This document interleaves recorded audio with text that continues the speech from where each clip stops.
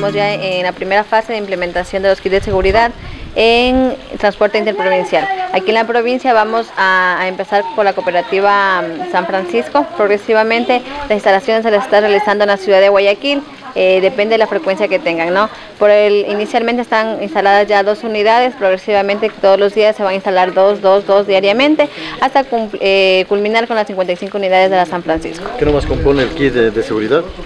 Tiene el botón de pánico, dos cámaras de seguridad, eh, los cables, una tarjeta de memoria, y todo eso eh, va conectado con, con, la, eh, con la L911. Esto como equipos técnicos que tiene, pero siempre los conductores deben tener alguna precaución, alguna recomendación que tenga la agencia de tránsito.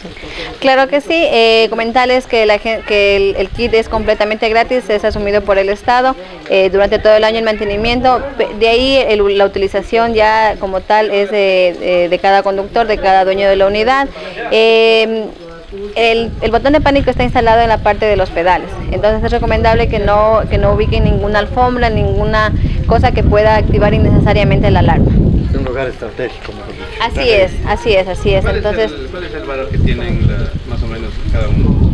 Eh, cada kit está eh, evaluado en más o menos 1.400 dólares.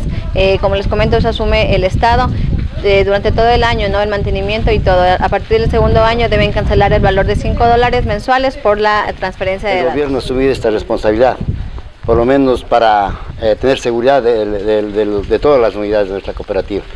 Eh, nosotros estamos muy contentos, satisfechos porque de todas maneras en la carretera nada es, eh, es confiable, cualquier cosa puede pasar. De tal manera que nosotros ahorita estamos ya con dos carros y dos carros que están ahorita instalados en Guayaquil, eh, comenzamos con cuatro unidades. Progresivamente estaremos ya a lo mejor hasta enero, posiblemente con todas las unidades ya equipadas y bueno, eh, esperemos que esto sea un beneficio tanto para la ciudadanía como para nosotros, principalmente sobre esta situación de que en la inseguridad de la carretera. Aparte de la tecnología, la intuición que deben tener los conductores de no tomar pasajeros en cualquier parte de la carretera, sino en sitios eh, conocidos, por ejemplo. Esto ya va prácticamente para educarle más al conductor. Eh, obvio de que el señor conductor tiene que limitarse muchas cosas, muchísimas cosas.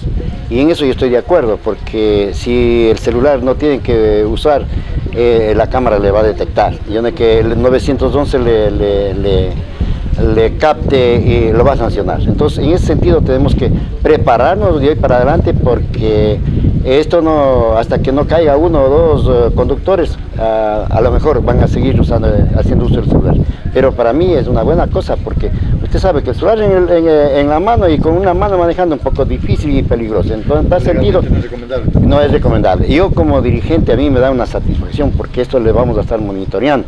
Vamos a tener alguna reunión, inclusive eh, como presidente de la cooperativa tengo que viajar a Quito, a Sirambato, al 911, para ver la forma, cómo ellos, o sea, conectarnos directamente, ¿no? Cómo operan ¿Cómo el opera en el sistema y luego, como operan en el sistema, yo tengo que tener una reunión con todos los socios y choferes y controladores para explicarles cuál es ¿Va a haber una capacitación para los choferes y controladores? De ley, de ley, pero les explico que este año, mientras ya no, mientras no tengamos todas las unidades equipadas, no, luego que estén todas las unidades equipadas, directamente habrá una capacitación directamente para poder... Eh,